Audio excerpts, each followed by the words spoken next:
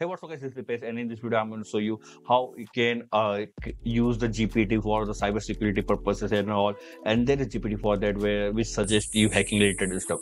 So without wasting time, let's get started and let's see how this model works.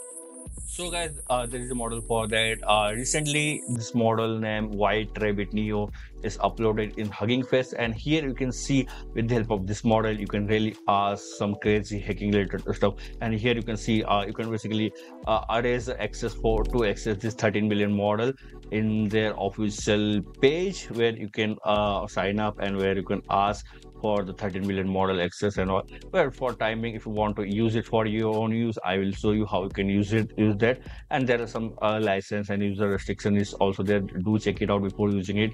And anyway 13 million uh, 13 million model you can directly use it. And there is some code for that if you directly want to use it with the transformer library. But before uh, there is alternated way of that. I already covered it in some of my links and videos. You can go check it out from the description also well, uh, let's talk about some sample conversation. Here you can say some user has asked, how do I attack a Wi-Fi network? And it is saying, uh, it is giving some instruction along with some commands and all.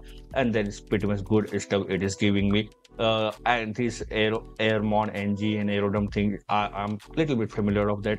And all these commands and other stuff is related to Wi-Fi hacking and all.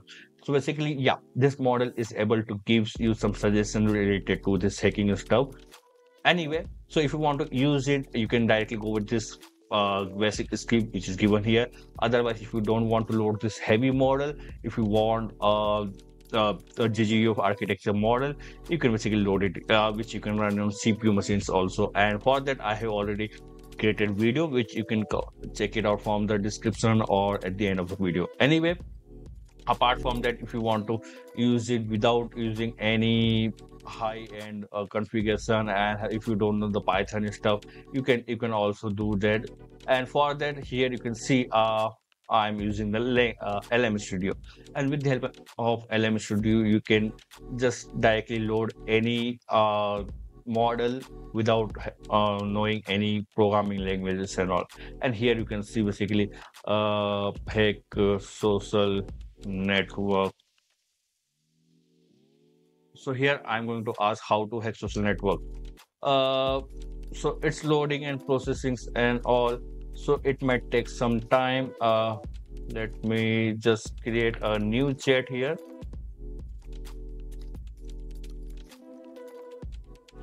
So I'm going to create a new chat and I'm going to ask how to hack social network.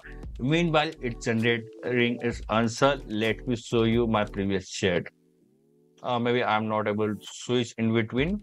So let's wait for a minute.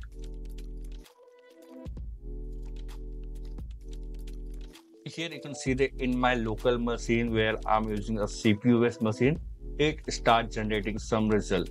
It is saying uh, set up a VPN using a secure VPN and all so here you can see that uh, it starts generating some results. It's saying uh, set up a secure VPN and all, use anonymous email services. Well, uh, I'm going to stop the generation for time being and let me show you my previous chat. Uh, in previous chat, when I say hi, it starts saying set up a GitHub and all. Basically, I don't know why. When but when I ask like how to hack Wi-Fi, it start giving me some instruction along with some code like installing tools, scanning a Wi-Fi signals and all, target net, finding the target network, capturing handsets, uh, cracking WPA or WPA2 passwords, and using the passwords and all. It's giving me, it's start giving me some instruction now. But uh, then uh, here you can see that we have again how to a social network so it starts generating the result. Well this is a cpu machine. It's taking time. Just why i stopped it. But if you having some very good gpu machine then you can start using this model. So we, we have seen the capabilities of this model.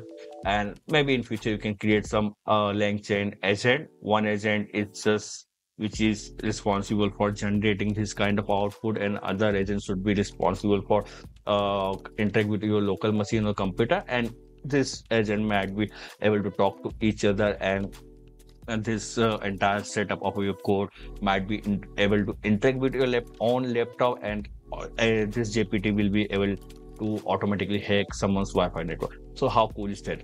Uh, so this kind of activities you can do with the help of this white rabbit your model you can integrate with the auto agent or something like that so that's it for this video i hope you like it and don't forget to do subscribe and also the bell icon to get notification about all of future videos. This is the best sign out. Meet you soon in bye bye